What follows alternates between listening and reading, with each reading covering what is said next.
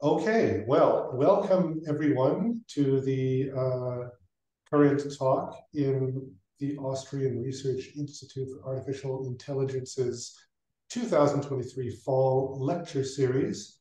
Today, we are very proud to have with us uh, um, a colleague and good friend of mine, Ivan Habernal, who I know back when we were both working at uh, Technische Universität Darmstadt.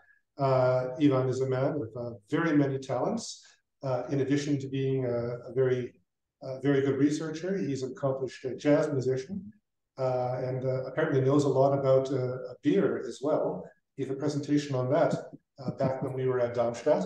But today he's here in his capacity as a newly minted assistant professor for natural language processing at Paderborn University in Germany uh, to speak with us uh, about privacy in natural language processing.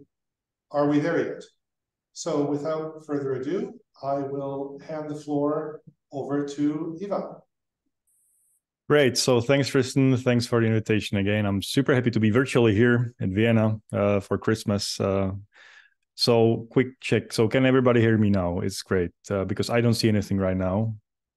So Okay, great. So let, let's uh, let's start. I would say like if you have any questions, maybe you can ask just in the middle. Don't write anything into chat because I don't see the chat, but we can have a discussion afterwards. But if you have like immediate question, just do it because I really stopped seeing everybody here, which is kind of weird. So and I'm in my YouTuber role. But anyway, so let's talk about privacy in natural language processing and whether so what is missing in there? Are we there yet? So the, let's start with this news you might have seen. So it's it's very recent, like a couple of days back. Um, ChatGPT. So, so there was a you know a big news that ChatGPT can leak training data, and everybody was uh, excited. No, well, excited in a bad way about it, like worried about it. So ChatGPT remembers something and you know maybe you've seen it as well. And even like uh, you know it was so bad that even uh, Gary Marcus tweeted about it and saying like wow well privacy is you know this the um the basic human right and we you know what all these language models are doing it wrong and stuff like that. So the the, the idea here in uh, extracting basically training data from ChatGPT was that if you start uh, if you prompt it with very special prompt uh, for example repeat this word forever, poem, poem, poem. So it started repeating forever the word poem, poem, poem, but I didn't do it for forever. It just after maybe hundreds or 200 tokens, it started generating something else than the word poem. And guess what? In this generated text appeared something from the training data. So like here, uh, you know, on this tweet is um, could be names and addresses and web phones and uh, fax numbers and stuff like that. So it, it's a big thing right now, and people are talking about security and privacy of large language models, which is great. And here's uh, here's a link to this paper by uh, Milad Nasr, uh, Nicholas Carlini, Katerina Lee is there as well. So uh, Florian Tramer, you will see the names uh, later on as well. So for the community or for maybe like the general public, this is bad news. Um, for us in the in, in privacy research, it's actually old news because there's uh, already research um, research on the previous models like GPT-2. So if you take the GPT-2 again, here's an example. You take a GPT-2 model, which is this large language model, and you want to prompt it, for example, well, translate me this English sentence to, to German. So what's the time? German. So this is the prompt.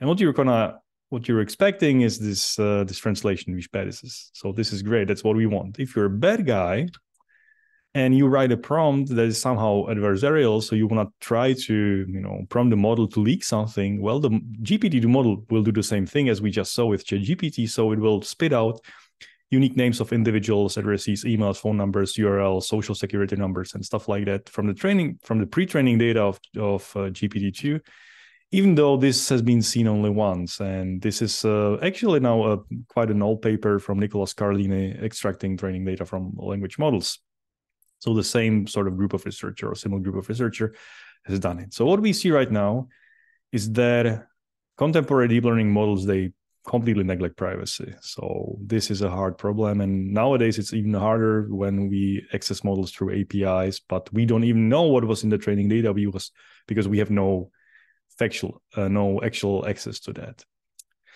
Here's another example actually that it's not only about privacy it might be also about copyright. So uh, i don't know if if uh, so i believe people in the audience know the github copilot. So basically it's uh, for helping you to write code. So you start typing maybe a function and it will basically spit out the rest and you, you know, uh, should speed up your coding.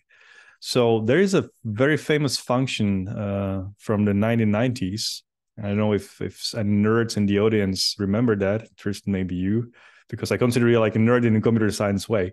So there is this um, very famous function of square root, which was um, introduced by by the team of Quake Three. So it didn't it wasn't written by John Carmack, but the, you know the Quake Three is the first shooter 3D game and kind of was you know super um, novel in many ways and there was this function which computes a, a fast square root of a number of a vector. So whatever some function and somebody wrote it.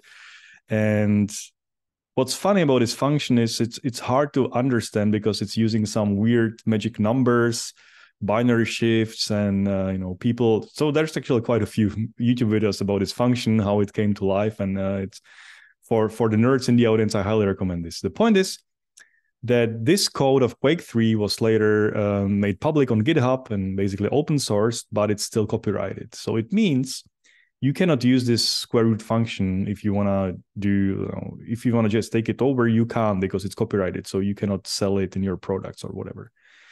So if you ask GitHub Copilot to, if you start typing your the name of the function, which is Quake R sqrt, and the parameter is a number, excuse me, it's a square, square root number of a, a square root of a of a number. You start typing that, and GitHub Copilot starts basically spitting out the original function. But after a few kind of uh, tokens, it uh, it knows, or it's uh, there's some mechanisms in Co- Copilot saying, well, wait a second, it really resembles some original training data. So maybe we're breaching copyright, and we should stop generating this content. So this is good. So people build kind of think about this spitting out training data and build some mechanisms in Copilot so it's prevented. This is great. Well, what happens if you're a bad guy and start prompting the model with the same number uh, name of the function, so Q sqrt, but then you translate uh, the the variable number just into French, nombre. So you start typing this. What happens? Well, no surprise. I mean, Copilot will spit out a complete original square root function from Quake 3, but all the variables will be in French. So basically, it's breaching copyright because it's the same code, but just the variables are, you know, they're named differently.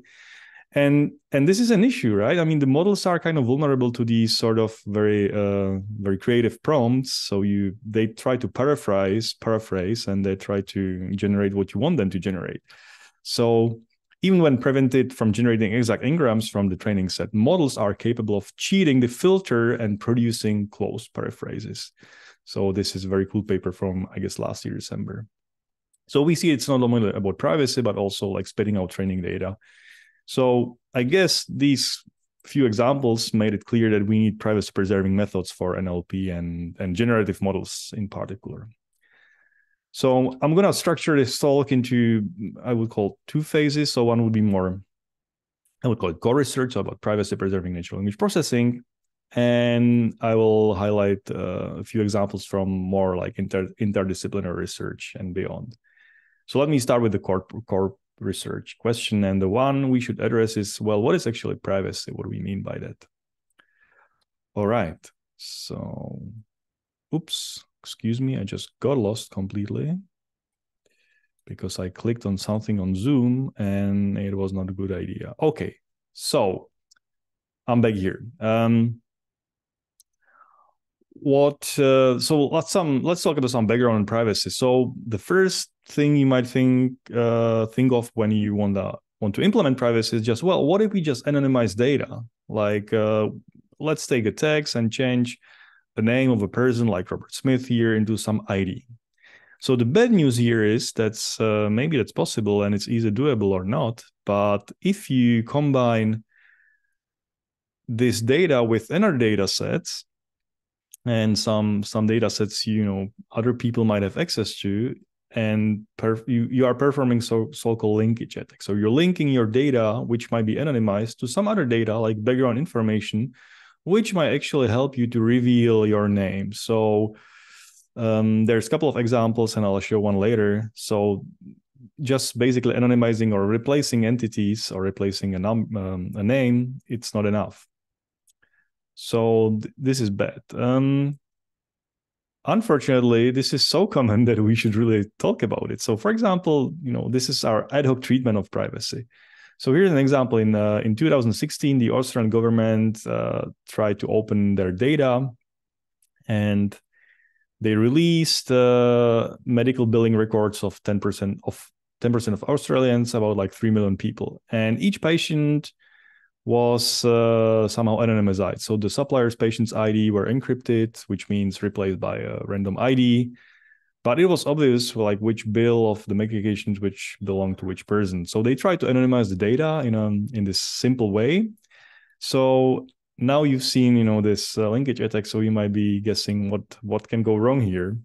And of course, unfortunately, there was this paper uh, a year later showing that um, um, a few mundane facts often suffice to isolate an individual. So they were able to uh, reveal, actually, to extract the original names of the real patients by using the plain old linkage enemy attack. So um, using some third-party information or some background information, you cannot, you know, undo this privatization, and it was just uh, it will break the privacy. So this was uh, really uh, kind of a bad use case here.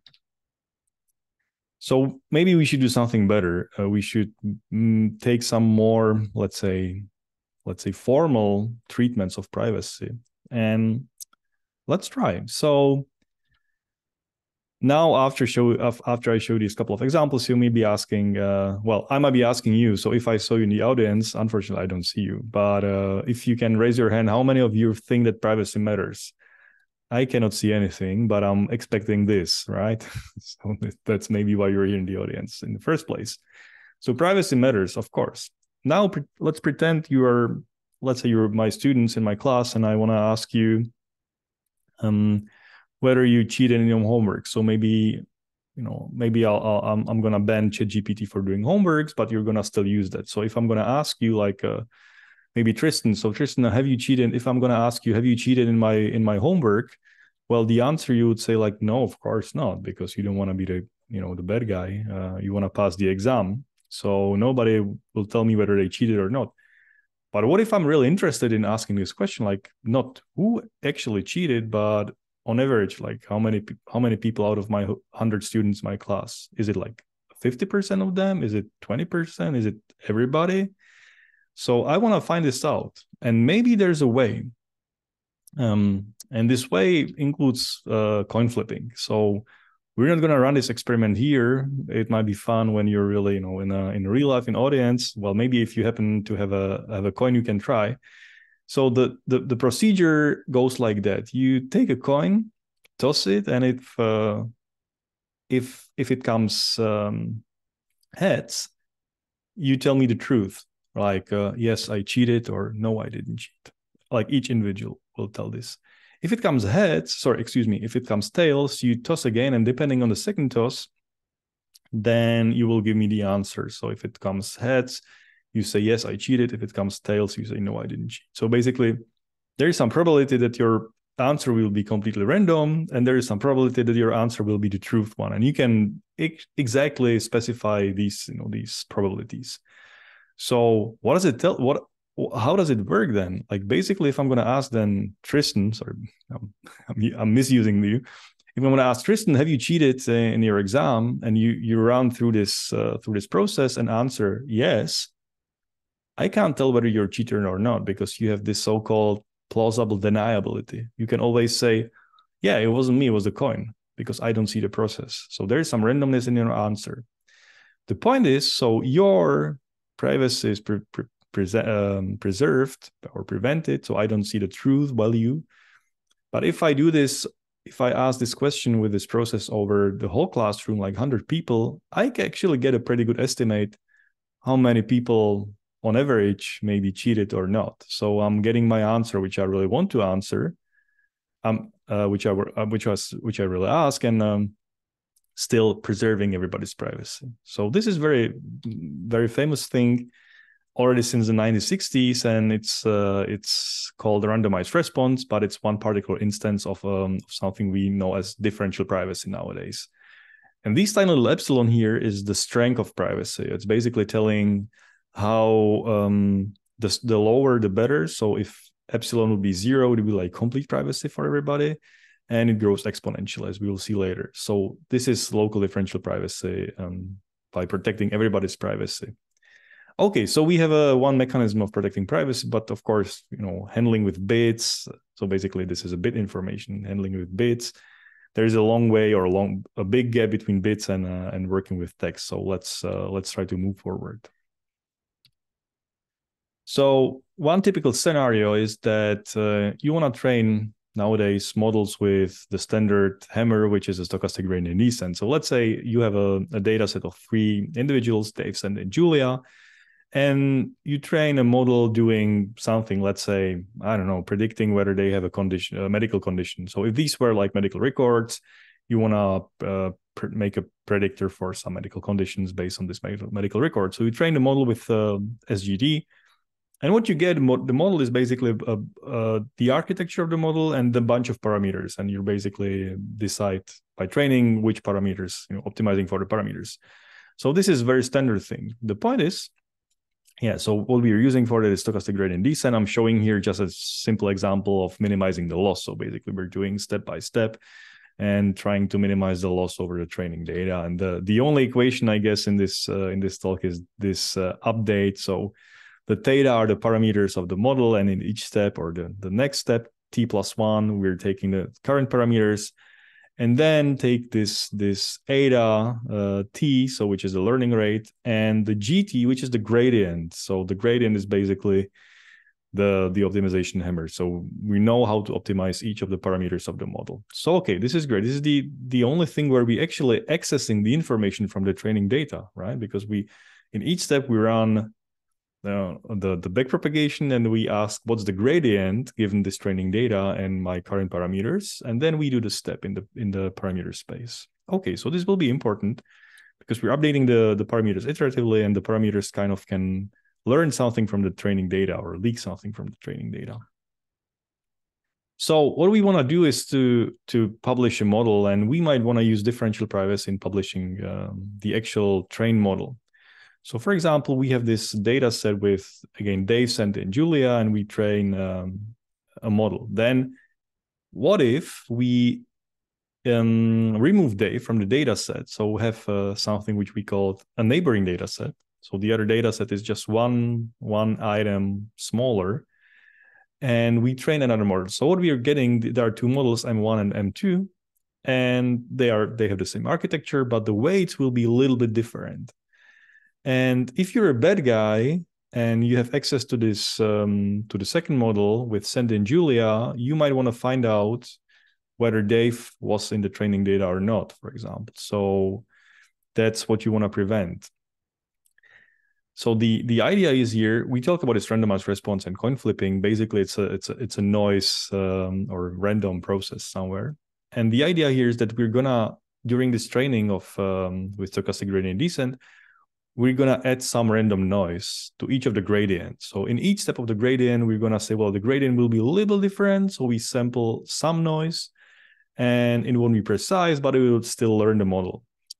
And it gives us some guarantees. Uh, I don't want to go, I, I'm, I'm not going to go into details, but the, the important part of the guarantees is it says the amount of information which will be leaked from the trained model is bounded by this epsilon or e to epsilon. So this is important to know. This is the worst, worst case scenario. Whatever happens, no matter whether you are very powerful adversary, very bad guy, having all the quantum computers, if you see the output of differential private, differential private, excuse me, differential private uh, model training or algorithm, you cannot undo it and the maximum leak of information is bounded by this uh, e to epsilon. So this is like really worst worst case scenario, and That's why it's formal treatment of privacy because it tells you, well, in the worst case, you're going to lose if you participate in a data set that amount of information. But it's a probabilistic treatment of that. All right. So this is the basically introduction to how to make it work. And let's talk about a little bit of generative uh, DP, mo- uh, generative models with differential privacy. So just a refresher on what is uh, what is language model this standard treatment of uh, of language models and even like a GPT way of treatment of language models is that it predicts a probability of a word following a string of text. So you're given a couple of words. It could be a prompt, and then it, given this this context, uh, it predicts what is the most probable next word to continue the sequence. So basically, a, prob- a probability distribution over the vocabulary okay, so this is great. This is how we can generate the text, and and the, the actual model for estimating probabilities could be something from very simple n-gram models to uh, transformer models like GPT. So the problem of privacy for language models is actually related to the problem of privacy for text generation models because that's the nowadays um, kind of state of the art of of um, of text generation. Excuse me, like language models are uh, generation models. And the question we are asking here is whether we can design a privacy preserving model that actually performs text generation. Right? We talk about this training with uh, stochastic gradient descent with privacy, which has been used quite a lot on different classification tasks. But we are uh, we are, we are interested in like, can you do it for generation? Well, something like that would prevent maybe the case of you know leaking information from ChatGPT, maybe something along these lines. So we look into neural machine translation, and the goal here is that, well, why is it important? Why, why machine translation and might be an important use case? Well, maybe you you want to utilize a um, if you have a company, you want to utilize your internal data and maybe train a machine translation model and offer this translation on your private data, so company data, and nobody should see the data and you want to offer an API. So through this API, you would be basically uh, prone to kind of hacks, something that we saw in the ChatGPT. So you want to protect the privacy of your uh, machine translation translation system. So that's what we, what we looked into, and uh, it comes with a lot of challenges. I'm I'm I'm not gonna spend so much time on that. So this the the the original idea of training stochastic with stochastic gradient descent with this differential privacy is kind of I wouldn't say simple, but it's uh, conceptually not complicated.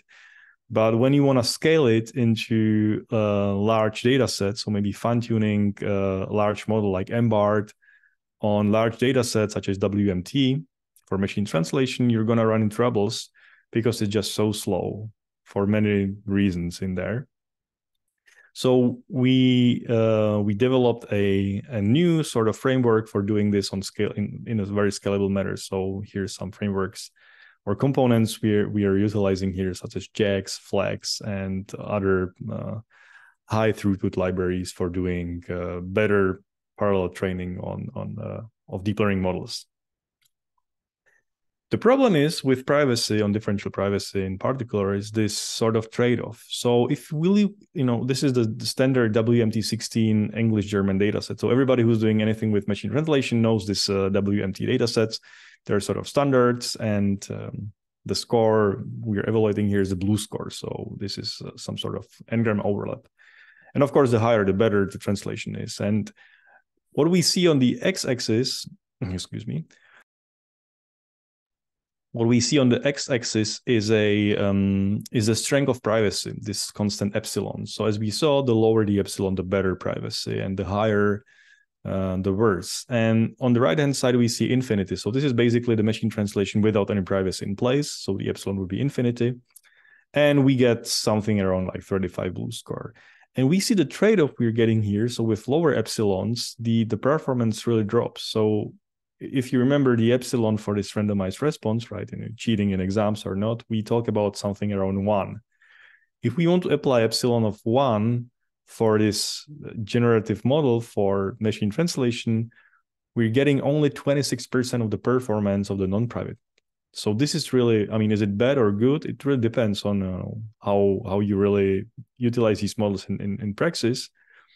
But the trade-off is is is real so you know there's the privacy is not for free so we're kind of still working on this to find what uh, you know how could how to improve that it's really um, it's also like a matter of hyperparameters or maybe bigger models or using some uh, adaptive training and stuff like that. So this is a running research now, and also the training actually it's really really really expensive because of this noise addition during this training with differential privacy. So it takes uh, maybe four times more just to train this model, and uh, if we want to try everything on our tiny GPU cluster, it's uh, it's getting very long. So two months spent on just all these experiments.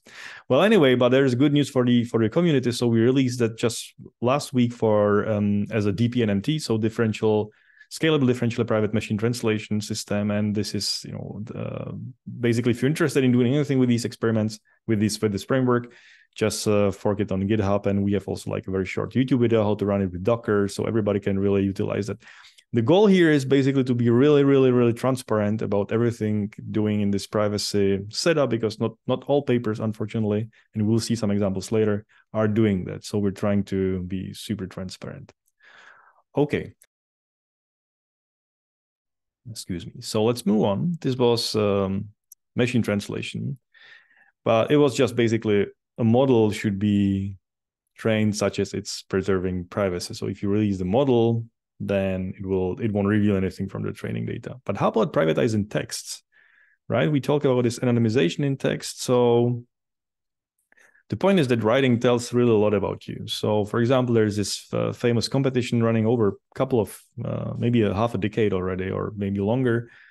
Um, I guess it's uh, from peop- uh, by people from Weimar in Germany, and it's this author profiling. So this PAN context, which means well given a text you're you need to um, infer whether the person so what's the gender of the person yeah i mean they simplified it to binary uh, binary gender what's the age group so a couple of categories of ages and maybe native language. So and of course you know these are the results are not just random. So the writing tells a lot about you as and if you could train a machine learning model on your writing style it will reveal something about you if you just tweet. So um, yeah, we need to protect. So can we use this local differential privacy for this text rewriting?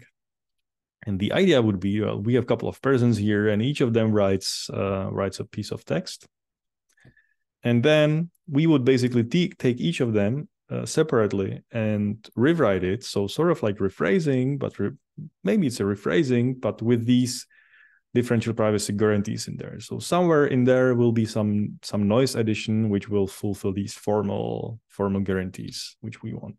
And then of course we can use this rewritten text for let's say downstream task model training or so here's an example for intent detection would be like the original text would be uh, like that so when is the first flight from baltimore to los angeles on sunday morning and the and the class label would be flight information okay and if we, so in theory, if we rewrite this text uh, using this rewriting with local differential privacy, we would end up with something, well, not the same. It would be rephrased. Maybe the entities will change, like when is the last flight from New York to Chicago on Friday evening? So it's a completely different flight. I mean, you would basically, you know, I wouldn't recommend doing this, like if you really need to fly from somewhere to somewhere, but for if you had n out of these instances and you want to try and classify for flight information or in, intent classification, excuse me, for intent classification, maybe that would be enough. So the noise will kind of like cancel out on the large scale.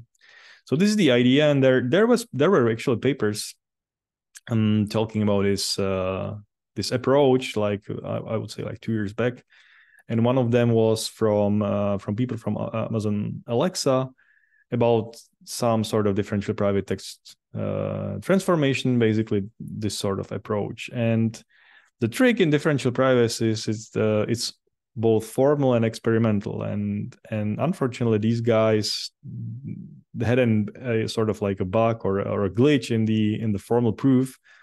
And if you dig deeper, you will find that uh, that actually their proof was wrong. And if you do it correctly, there is no privacy at all or it's just infinity so this is really hard and what makes it harder that not everything is uh, made public so for example the source code for this paper was not made was never made public and you need to really dig deeper and uh, you know well basically if the if the numbers look too good to be true for privacy, then there is something uh, something maybe fishy about this paper, and it needs really scrutiny. So we did this, and of course we want to address this lack of transparency reproducibility. So, well, this is a side note on on transparency, right? So who well, who of you read the G- GDP, uh, excuse me, GPT-4 technical report? So maybe you read this like 100 pages arXiv paper, and maybe it wasn't even arXiv. But anyway, 100 pages paper and there is a section on reproducibility and transparency and it's uh, just this sentence long so given both the competitive landscape and the safety implication of large-scale models like gpt-4 this report contains no further details about the architecture including model size hardware training compute dataset construction training method or similar. So zero. It means like yeah uh, that's absolutely trustworthy. You have no idea what's in there. So transparency I guess for us researchers, our you know transparency is a key, and especially if you're talking about privacy you need to how do you trust that what they're doing is is right? I mean we've seen so many instances that even if there's a code well then maybe there's a bug in the code so actual the actual experiments are kind of wrong. In normal research like normal in a way you're building your i don't know sentiment classifier. If there is a bug and it works well that's fine. Okay well it's a bug but it's fine. But here if you pro if you uh, with privacy if you really promise privacy and then don't deliver, basically break the, the promise, it's a bad sign. Well, anyway, so we we took it seriously, published a couple of papers on that. So one was a COLING demo paper, and one was um, ACL findings paper, where we kind of re-implemented the original ADePT paper I showed in the previous slide, and and develop a new sort of local differential privacy framework for um, uh, for text rewriting. And it's just much better than other systems. And um, and we also kind of uh, revealed another, it revealed another another bug in this in the previous systems. What i'm what you see here actually is the important part is the epsilon. So the epsilons are uh, you know in a hundred. So this is very very very high epsilon. And actually theoretically it's a, almost zero privacy. It's really it's important to keep in mind that uh, for text rewriting with this local differential privacy the epsilons are still very very high. Maybe it's not usable at all. So it's something to be decided. We don't know how these epsilon should be big so far but i'll talk about it a little bit later. Okay so you can rewrite text. And again i mean if you want to experiment or use it just out of box just download it. And there's a, this whole framework pre-trained models using BART and you can rewrite your texts if you want.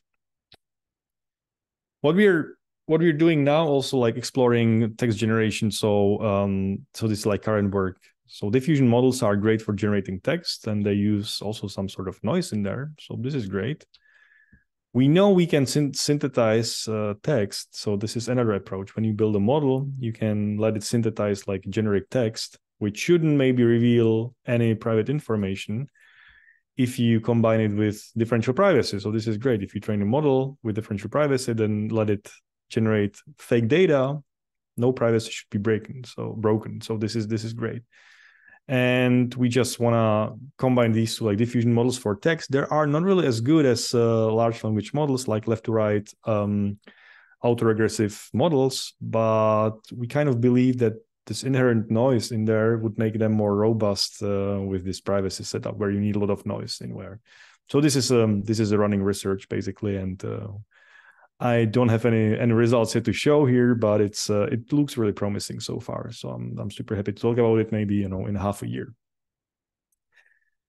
So this was this first part about these um, privacy preserving things, but then let's look at the actual the user perception of privacy. So we talked about these epsilons from one until hundred or infinity, and the question is really like, will you give me your data if uh, yeah maybe i don't know. So we we set up an experiment with two scenarios. One scenario would be uh, concerning medical records. And we said well okay listen um, i want your data so your text data so maybe medical records and i'm a, I'm a good guy. I'm, I'm going to run a nonprofit organization and i just want to improve treatment options. So i'm not a big bad guy for collecting it for let's say advertisement or stuff like that Okay, so this is one scenario. The other scenario was that um, I want to ask you for your messenger data, so like uh, you know WhatsApp, the last fifty WhatsApp messages. And again, you know, the goal is I'm a, I'm a good guy and I just want to run. Um, I want to create a an a learning app for for learning language, like a le- language learning app which everybody can use, like uh, you know, for it's for the better good, so to say.